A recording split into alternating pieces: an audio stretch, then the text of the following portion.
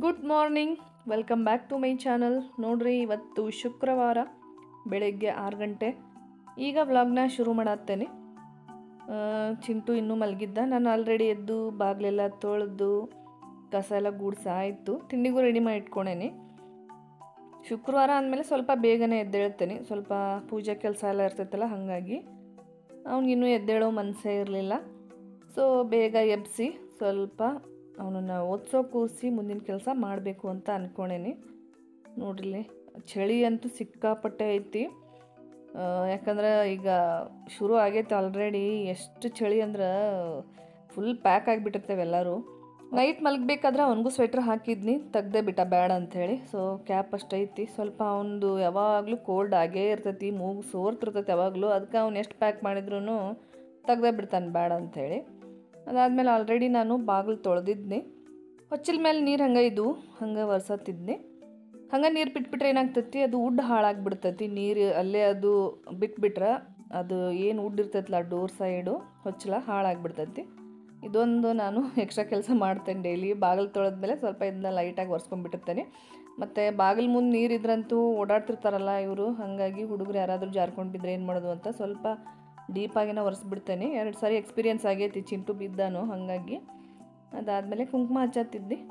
ಸ್ವಲ್ಪ ಒಂದೊಂದು ಸಾರಿ ಏನಾಗ್ತಿತ್ತು, ಶ್ರೇಯಸ್ ಎಲ್ಲ ಸ್ಕೂಲಿಗೆ ಹೋದ್ಮೇಲೆ ಬಾಗ್ಲ ತೋದಿರ್ತೇನೆ ಒಂದೊಂದು ಸಾರಿ ಬೆಳಗ್ಗೆ ಬೆಳಿಗ್ಗೆ ಆಗೋದಿಲ್ಲ. ಇವತ್ತು ಶುಕ್ರವಾರ, ಹಾಗಾಗಿ ನಾನು ಸ್ವಲ್ಪ ಬೇಗನೆ ಎದ್ದು ಇದೆಲ್ಲ ಕೆಲಸ ಮುಗಿಸ್ತೇನೆ. ಡೈಲಿ ಆದರೆ ಸ್ವಲ್ಪ ಬೇಗನೂ ಆಗ್ತೈತಿ, ಇಲ್ಲಾಂದರೆ ಸ್ವಲ್ಪ ಲೇಟನೂ ಆಗಿರ್ತೈತಿ ಕೆಲಸ. ತುಳಸಿ ಕಟ್ಟೆ ಮುಂದೆ ರಂಗೋಲಿ ಬಿಡಿಸಿ ಆದಮೇಲೆ ನೋಡ್ರಿ, ಈಗ ನಾನು ಮನೆ ಮುಂದೆ ರಂಗೋಲಿ ಬಿಡ್ಸತ್ತಿದ್ನಿ ಒಂದು ಕೈಯೊಳಗೆ ಕ್ಯಾಮ್ರಾ ಇದ್ದಿದ್ದರಿಂದ ಸ್ವಲ್ಪ ಆ ಕಡೆ ಈ ಕಡೆ ಆಗತ್ತಿತ್ತು ರಂಗೋಲಿ ಹಾಕ್ಬೇಕಾದ್ರೆ. ಮತ್ತೊಬ್ಬರು ನಂಗೆ ಲಾಸ್ಟ್ ಟೈಮ್ ಕಮೆಂಟು ಮಾಡಿದರು, ನೀವು ರಂಗೋಲಿ ಯಾವ ಥರ ಬಿಡಿಸ್ತೀರಿ? ಡಿಸೈನ್ ಇಷ್ಟ ಆಯಿತು, ತೋರಿಸಿ ಅಂಥೇಳಿ ನಾನು ಹೆಚ್ಚಾಗಿ ಈ ಥರ ಡಬಲ್ ಎಳಿ ರಂಗೋಲಿನ ಬಿಡಿಸೋದು ನನಗೇನೋ ಅದೊಂಥರ ಈಸಿ ಅನಿಸ್ತತಿ. ಮತ್ತು ಸ್ಮಾಲ್ ಸೈಜ್ ರಂಗೋಲಿ ಹಾಕಿದ್ರೂ ದೊಡ್ಡದು ಅನಿಸ್ತತಿ ಮನೆ ಮುಂದೆ. ಹಾಗಾಗಿ ಹೆಚ್ಚಾಗಿ ನಾನು ಇದೇ ಥರ ರಂಗೋಲಿ ಬಿಡಿಸ್ತೇನೆ. ಈಗ ಸಿಂಪಲ್ ಆದ ರಂಗೋಲಿ ರೆಡಿ ಆಯಿತು. ಸ್ವಲ್ಪ ಅರಿಶಿನ ಮತ್ತು ಸ್ವಲ್ಪ ಕುಂಕುಮ ಹಾಕಿರ್ತೇನೆ ರಂಗೋಲಿ ಮೇಲೆ. ಈಗ ಇದಾದ ಮೇಲೆ ನೆಕ್ಸ್ಟು ನಾನು ಅಡುಗೆ ಮನೆಗೆ ಹೋಗಬೇಕು. ಈಗ ಆಲ್ರೆಡಿ ನಾನು ತಿಂಡಿಗೆ ರೆಡಿ ಮಾಡಿ ಇಟ್ಕೊಂಡೇನಿ. ಅಂದ್ರೆ ರೈಸ್ದು ಒಂದು ಐಟಮ್ ಮಾಡ್ಬೇಕು ಅಂದ್ಕೊಂಡಿರೋದ್ರಿಂದ ಅನ್ನ ಮಾಡಿ ಆರಾಕಿಟ್ಟೇನಿ ಅನ್ನ ಮಾಡಿದ ತಕ್ಷಣ ನಾವು ಒಗ್ಗರಣೆ ಹಾಕಕ್ಕೆ ಹೋದ್ರೆ ಎಲ್ಲ ಗಂಟು ಆಗ್ತೈತಲ್ಲ ಸ್ವಲ್ಪ ಆರಾಕಿಟ್ಟೆ ನಾನು. ಅನ್ನ ಉದುರುದ್ರಾಗಲಿ ಅಂತ. ಅದಕ್ಕಿಂತ ಮೊದಲು ಪಪ್ಪಾಯಿ ಹಂಚಾತಿದ್ನಿ ಬೆಳಗ್ಗೆ ಬೆಳಿಗ್ಗೆ ನಾವು ಬಿಸಿನೀರೆಲ್ಲ ಕುಡಿತೇವಲ್ಲ, ಅದಾದಮೇಲೆ ನಾವು ನಾಷ್ಟ ಮಾಡೋಕ್ಕಿಂತ ಮೊದಲು ಪಪ್ಪಾಯ ತಿನ್ನಬೇಕು ಎಲ್ಲರಿಗೂ ಎರಡೆರಡು ಪೀಸ್ ಕಟ್ ಮಾಡಿ ಇಡಾತಿದ್ನಿ ಒಳ್ಳೇದಿದ್ದು ನಾವು ಖಾಲಿ ಹೊಟ್ಟೆ ಒಳಗೆ ತಿನ್ನೋದ್ರಿಂದ ಪಪ್ಪಾಯ ನಮ್ಮ ಆರೋಗ್ಯಕ್ಕೆ ಭಾಳ ಅಂದ್ರೆ ಭಾಳ ಚಲೋ. ಅದಾದಮೇಲೆ ಶ್ರೇಯಸ್ಗೆ, ಚಿಂಟುಗೆ ನಮ್ಮ ಮನೆಯವ್ರಿಗೆಲ್ರಿಗೂ ನಾಷ್ಟ ಹಾಕಿ ಕೊಟ್ಟೇನಿ. ನಾನು ನಾಷ್ಟಕ್ಕೆ ಏನು ಮಾಡಿದ್ನಿ ಅಂದರೆ ಚಿತ್ರಾನ್ನದ ಬದಲು ಪಾವ್ ಭಾಜಿ ಮಸಾಲ ಬರ್ತೈತಲ್ಲ ಅದನ್ನು ಹಾಕಿ ಒಂದು ಡಿಫ್ರೆಂಟ್ ಆಗಿರೋ ಚಿತ್ರಾನ್ನ ಮಾಡಿದ್ನಿ. ಪಾವ್ ಭಾಜಿ ಮಸಾಲ ಹಾಕ್ಬಿಟ್ರಂತೂ ಸೂಪರ್ ಟೇಸ್ಟ್ ಆಗ್ತೈತಿ, ಒಂಥರ ಡಿಫ್ರೆಂಟ್ ಆಗಿ ಆಗ್ತೈತೆ ಅಂತ ಹೇಳ್ಬೋದು. ಗುಡ್ ಮಾರ್ನಿಂಗ್ ಸ್ನೇಹಿತರೆ, ಈಗ ಬೆಳಿಗ್ಗೆ ಒಂಬತ್ತು ಗಂಟೆ. ಈಗ ನಾನು ಪೂಜೆ ಕೆಲಸ ಮಾಡಬೇಕು. ಶುಕ್ರವಾರ ಆದಮೇಲೆ ನಾನು ಸ್ವಲ್ಪ ಸ್ಪೆಷಲಾಗಿ ಪೂಜೆ ಮಾಡ್ತೀನಿ. ಯಾಕಂದ್ರೆ ಡೈಲಿ ಜಸ್ಟ್ ದೀಪ ಹಚ್ಚಿ ಹೂವು ಅಷ್ಟು ಚೇಂಜ್ ಮಾಡಿರ್ತೀನಿ. ಶುಕ್ರವಾರ ಮಾತ್ರ ಫುಲ್ ಎಲ್ಲ ಚೆನ್ನಾಗಿ ಹೂ ಏರಿಸಿ ಜೊತೆಗೆ ಎಲ್ಲ ದೇವ್ರ ಮನೆ ಎಲ್ಲ ನೆನ್ನೆನೆ ನಾನು ಎಲ್ಲ ಕ್ಲೀನ್ ಮಾಡಿ ಇಟ್ಕೊಂಡಿರ್ತೀನಿ. ಈಗ ಪೂಜೆ ಮಾಡಬೇಕು. ನೆನ್ನೆನೆ ಹೂವೆಲ್ಲ ತರಿಸಿಟ್ಕೊಂಡಿದ್ದೆ. ಈಗ ಡೈಲಿ ಏನು ಮಾಡ್ತೇನೆ, ನನಗೆ ಕೆಲಸ ಎಲ್ಲ ಮುಗಿಸಿ ಪೂಜೆ ಮಾಡಿ ತಿಂಡಿ ಮಾಡೋದು ಲೇಟ್ ಆಗಿಬಿಡ್ತೈತಲ್ಲ, ಹಾಗಾಗಿ ಫಸ್ಟನ್ನು ತಿಂಡಿ ಮಾಡಿರ್ತೀನಿ. ಶುಕ್ರವಾರ ಮಾತ್ರ ಆ ಥರ ಮಾಡೋದಿಲ್ಲ. ಪೂಜೆ ಮಾಡಿನೇ ನಾನು ತಿಂಡಿ ಮಾಡೋದು.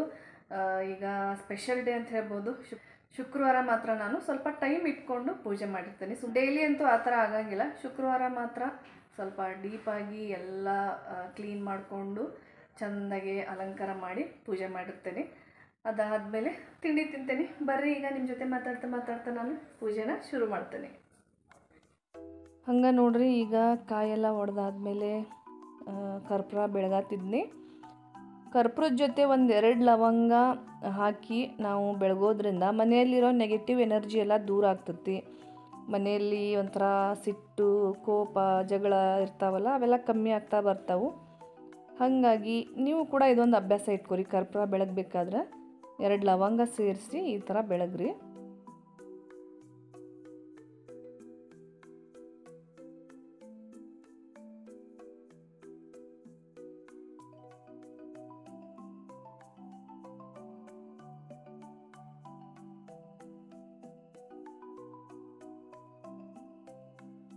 ಈಗ ಫೈನಲ್ ಆಗಿ ಪೂಜೆ ಯಾವ ರೀತಿ ಬಂದತ್ತೆ ಅಂತ ತೋರ್ಸತ್ತೆ ನಿಮ್ಗೆ ನಾನು.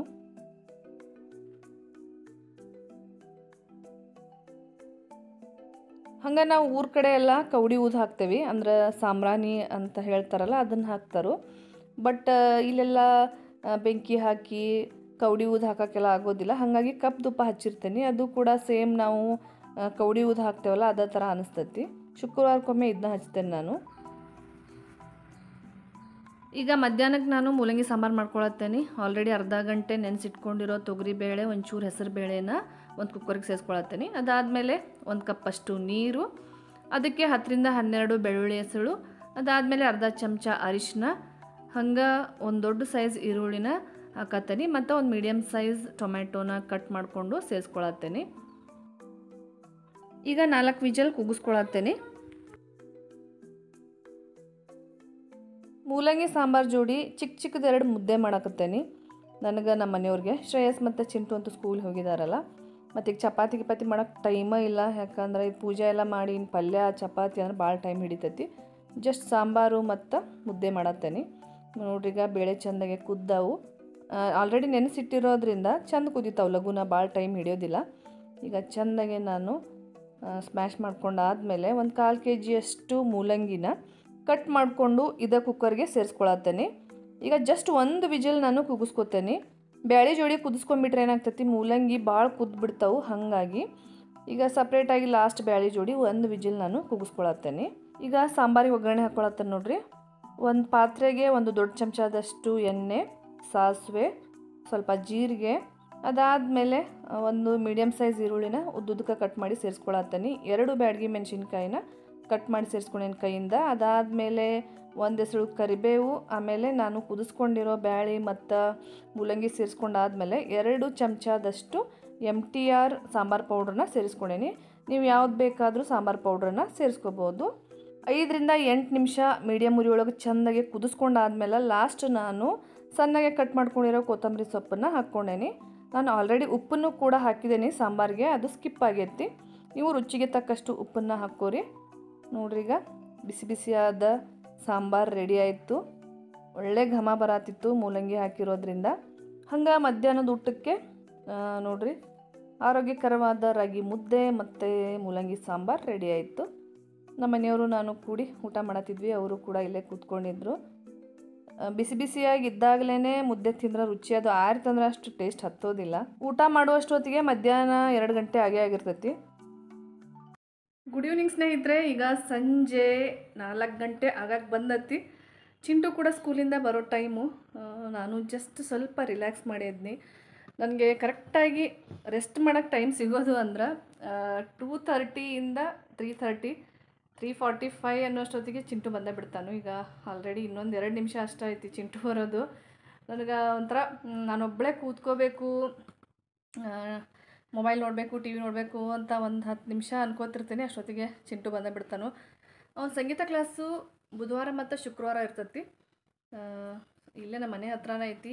ಸಂಜೆ ಏನಾಗ್ತೈತೆ ಅಂದ್ರೆ ಅವ್ನಿಗೆ ಎಲ್ಲ ಇಲ್ಲಿರೋ ಮಕ್ಕಳು ಟ್ಯೂಷನ್ನು ಅಲ್ಲಿ ಇಲ್ಲಿ ಅಂತ ಸೇರ್ಕೊಂಡ್ಬಿಟ್ಟರು. ಇಷ್ಟೊತ್ತಿಗೆ ಬಂದು ನಾಲ್ಕು ಗಂಟೆಗೆ ಅದರ ಬೋರ್ ಬೋರ್ ಅನ್ನೋಕ್ಕೆ ಶುರು ಮಾಡಿಬಿಡ್ತಾನು. ಶ್ರೇಯಸ್ ಬರೋದೂ ಆರು ಗಂಟೆ ಆಗ್ತೈತಿ. ಅಲ್ಲಿವರೆಗೂ ಅಂದ್ರೆ ಅವ್ನಿಗೆ ಒಂಥರ ಟಿ ವಿ ನೋಡು ಅಂದ್ರೂ ಅವನಿಗೆ ಅದು ಇಷ್ಟ ಆಗೋದಿಲ್ಲ. ಹಂಗೆ ಆಟ ಆಡೋಕ್ಕೆ ಯಾರಾದರೂ ಇಲ್ಲ, ಯಾರೂ ಇಲ್ಲ ಅಂತಿರ್ತಾನು. ಸೊ ಸ್ವಲ್ಪ ಬ್ಯುಸಿಯಾಗಿರ್ತಾನಲ್ಲ ವೀಕ್ಲಿ ಟೂ ಟೈಮ್ಸು ಸ್ವಲ್ಪ ಬ್ಯುಸಿಯಾಗಿರ್ತಾನು ಏನೋ ಒಂದು ಹೊಸದು ಕಲಿತಾನು ಅಂಥೇಳಿ ಸಂಗೀತ ಕ್ಲಾಸ್ ಸೇರ್, ಸೇರಿಸಿದ್ದೇನೆ. ಮತ್ತು ಅವ್ನು ಇಷ್ಟಪಟ್ಟನ ಸೇರ್ಕೊಂಡಾನು. ಹಂಗೆ ಅದ್ರ ಜೊತೆ ಏನಂದ್ರೆ ನಾನು ಒಂದು ನಾಲ್ಕೈದು ವರ್ಷ ಆಗಿತ್ತು ನೋಡಿದ್ದು, ಚೂಡಿ ಸೆಟ್ ಹಂಗೆ ಇಟ್ಟಿದ್ನಿ. ಈಗ ಎಲ್ಲರೂ ಹೆಚ್ಚಾಗಿ ಯಾರು ಸ್ಟಿಚ್ ಮಾಡಿಸೋದಿಲ್ಲ, ಎಲ್ಲರೂ ರೆಡಿಮೇಡ್ ಲೆಗ್ಗಿನ್ಸು ಟಾಪು ತೊಗೊಂಡ್ಬಿಡ್ತಾರೆ. ಯಾಕಂದರೆ ನಾವೀಗ ಒಂದು ಐದುನೂರು ರೂಪಾಯಿ ಒಂದು ಚೂಡಿ ಮೆಟೀರಿಯಲಿಗೆ ಕೊಟ್ರೆ ಹೊಲಿಸೋದನ್ನ ಒಂದು ಆರುನೂರು, ಐದುನೂರು ಏಳ್ನೂರು ನಾವು ಹೆಂಗೆ ಡಿಸೈನ್ ಹಿಡಿಸ್ತೇವೆ ಆ ಥರ ಕಾಸ್ಟ್ಲಿ ಇರ್ತೈತಿ. ಸೊ ಅಷ್ಟಾಗಿ ಕಾಸ್ಟ್ಲಿ ಕೊಡೋದು, ಅಷ್ಟಾಗಿ ದುಡ್ಡು ಸುರಿಯೋದು ಅಂದ್ಕೊಂಡು ಎಲ್ಲರೂ ಪಟ್ ಅಂತೇಳಿ ಒಂದು ಟಾಪು ಲೆಗ್ಗಿನ್ಸು ನೋಡ್ರಿ. ಇದು ಟಾಪ್ ನಾನು ಒಂದು ಫೈವ್ ಫಿಫ್ಟಿಗೋ ಏನೋ ತೊಗೊಂಡಿದ್ನಿ ಮೀಶೋ ಒಳಗೆ. ನೋಡ್ರಿ, ನಾನೇ ಒಂದು ಮೆಟೀರಿಯಲ್ ತೊಗೊಂಡು ಹೊಲಿಸ್ಬೇಕಂದ್ರೆ ಸಾವಿರ ರೂಪಾಯಿ ಮೇಲೆ ಹೋಗ್ತೈತಿ. ಯಾರು ಈಗ ಅಷ್ಟೊಂದು ಏನು ಇಂಟ್ರೆಸ್ಟ್ ಕೊಡುವಲ್ರು ಸ್ಟಿಚ್ ಮಾಡ್ಸಕ್ಕೆ. ನಾನು ಭಾಳ ವರ್ಷ ಆಗಿತ್ತು, ಅಂದ್ರೆ ಒಂದು ನಾಲ್ಕು ವರ್ಷ ಆಗಿತ್ತು ಈ ಮನೆಗೆ ಬಂದಮೇಲೆ. ನನ್ನ ತಂಗಿ ತಂದು ಕೊಟ್ಟಿದ್ಲು ಇದನ್ನು ನಾಲ್ಕು ವರ್ಷ ಆಗಿತ್ತು ನೋಡಿ ಸೆಟ್ಟು. ಹಂಗೆ ಇಟ್ಬಿಟ್ಟಿದ್ನಿ. ಸೊ ಫೈನಲ್ ಆಗಿ ಮೊನ್ನೆ ಸ್ಟಿಚ್ ಕೊಟ್ಟಿದ್ನಿ. ಸ್ಟಿಚ್ ಮಾಡ್ಸೋಕನ ಐದುವರೆ ನೂರು ರೂಪಾಯಿ ಆಯಿತು. ನಾನೇನು ಡಿಸೈನು ಇಡಿಸಿಲ್ಲ. ಜಸ್ಟ್ ನೋಡ್ರಿ. ಇದ್ಕೊಂಡು ಟೈಮ್ ಮಾಡ್ಸೋಕೆ ಈ ಥರ ಹೇಳಿದ್ನಿ. ಯಾಕಂದ್ರೆ ಶೋಲ್ಡರ್ ಡ್ರಾಪ್ ಆಗ್ತೈತೆ. ನಾವು ನೆಕ್ ಡೀಪ್ ಇದ್ರೆ ಶೋಲ್ಡರ್ ಡ್ರಾಪ್ ಆಗೋ ಚಾನ್ಸಸ್ ಇರ್ತೈತಿ. ಹಾಗಾಗಿ ಹಾಗಾಗಿ ಇದೊಂದು ಲೇಸ್ ಇಡ್ಸಿದ್ದೀನಿ ನಾನು.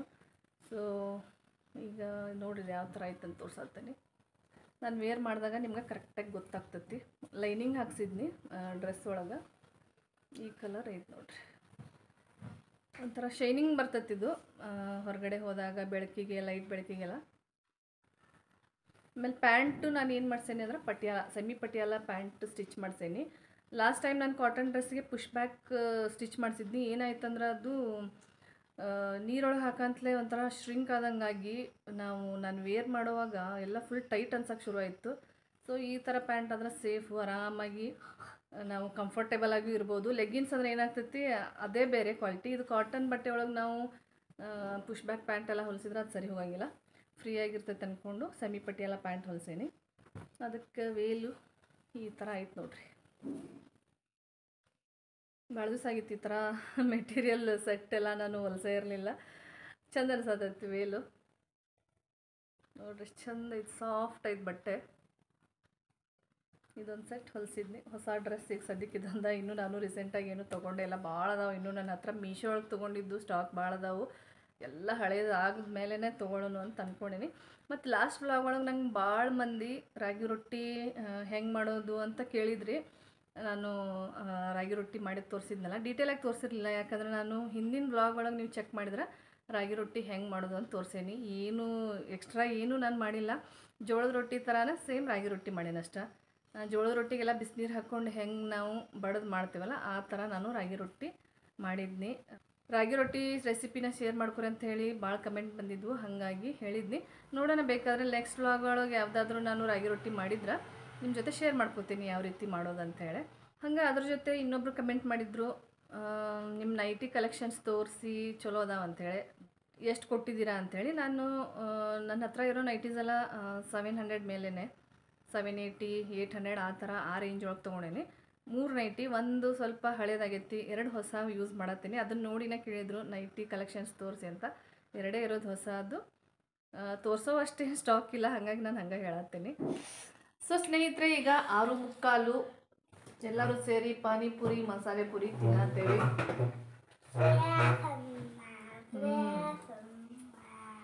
ನಾನು ಮಸಾಲೆ ಪುರಿ ತರಿಸ್ಕೊಂಡಿದ್ನಿ.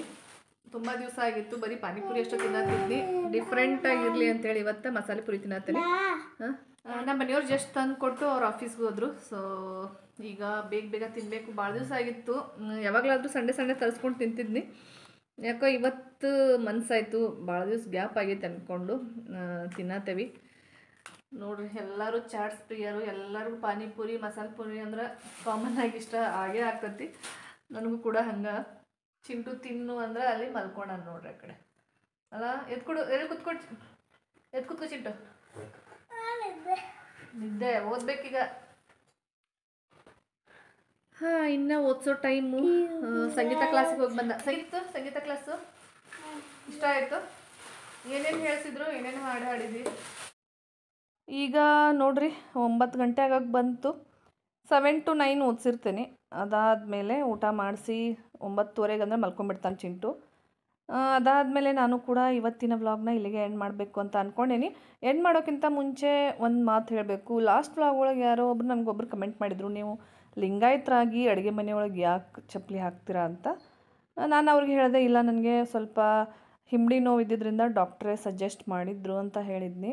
ಬಟ್ ಅವರಂದರು, ಇಲ್ಲ, ಹಾಕಬಾರ್ದು ನೀವು ಲಿಂಗಾಯತರಾಗಿ ಯಾಕೆ ಹಾಕ್ತೀರಿ ಅಂತ ಪದೇ ಪದೇ ಮತ್ತೆ ಅದೇ ಕಮೆಂಟ್ ಮಾಡ್ತಾಯಿದ್ರು ನಂಗೆ ನಿಜವಾಗ್ಲೂ ಭಾಳ ಬೇಜಾರಾಯಿತು. ಸ್ವಲ್ಪ ಹೆಲ್ತ್ ಆ ಥರ ಇದ್ದಾಗ, ಕಾಲ್ಗೆ ಏನಾದರೂ ಆ ಥರ ಇದ್ದಾಗ ಅನಿವಾರ್ಯವಾಗಿ ಹಾಕಲೇಬೇಕು. ನಾನೇನು ಆ ಚಪ್ಪಲಿ ಏನು ಹೊರಗಡೆ ಹಾಕ್ಕೊಂಡೇನು ಓಡಾಡಲ್ಲ, ಜಸ್ಟ್ ಮನೆ ಒಳಗೆ ಹಾಕ್ಕೊಂಡು ಓಡಾಡ್ತೇನೆ. ನಂಗೆ ಒಂಥರ ಬೇಜಾರು ಅನ್ನಿಸ್ತು ಎಲ್ಲದರಲ್ಲೂ ಒಂದು ಏನಾದರೂ ನೆಗೆಟಿವ್ ಕಂಡು ಹಿಡಿಯೋರು ಇದ್ದೇ ಇರ್ತಾರಲ್ಲಪ್ಪ ಅಂಥೇಳಿ ನಾನು ಎರಡು ಮೂರು ಸಾರಿ ಅವ್ರಿಗೆ ಹೇಳಿದೆ ಡಾಕ್ಟ್ರು ಸಜೆಸ್ಟ್ ಮಾಡಿದಾರು ಅಂದ್ರೂ ಇಲ್ಲ ನೀವು ಹಾಕಬಾರ್ದು ಲಿಂಗಾಯತರು ಅಂತೀರಾ, ಈ ಥರ ಮಾಡ್ತೀರಾ ಅಂತ ಇದ್ರು. ನನಗೆ ಅನ್ನಿಸ್ತು ಎಲ್ಲದರಲ್ಲೂ ಒಂದು ಏನೋ ಒಂದು ತಪ್ಪು ಕಂಡು ಹಿಡಿಯೋರು ನೆಗೆಟಿವ್ ಕಂಡು ಹಿಡಿಯೋರು ಇದ್ದೇ ಇರ್ತಾರೋ ಅಂತ ಒಂಥರ ಬೇಜಾರು ಅನಿಸ್ತು ನಾನು ಎಷ್ಟೇ ತಿಳಿಸಿ ಹೇಳಿದ್ರು ಅವ್ರು ತಿಳ್ಕೊಳ್ಳೇ ಇಲ್ಲ. ನನ್ನ, ನಿಮ್ಮ ಎಲ್ಲರ ಸುತ್ತಾನೂ ನೆಗೆಟಿವ್ ಕಂಡು ಹಿಡಿಯೋರು ಇದ್ದೇ ಇರ್ತಾರೋ. ಅಂಥವ್ರ ಬಗ್ಗೆ ತಲೆ ಕೆಡಿಸ್ಕೊಳ್ದೆ ಆರಾಮಾಗಿರೋಣ ಅಂತ ಹೇಳ್ತಾ ಇವತ್ತಿನ ವ್ಲಾಗ್ನ ಇಲ್ಲಿಗೆ ಏನು ಮಾಡತ್ತೇನೆ. ಥ್ಯಾಂಕ್ ಯು ನಮಸ್ಕಾರ. ಬಾಯ್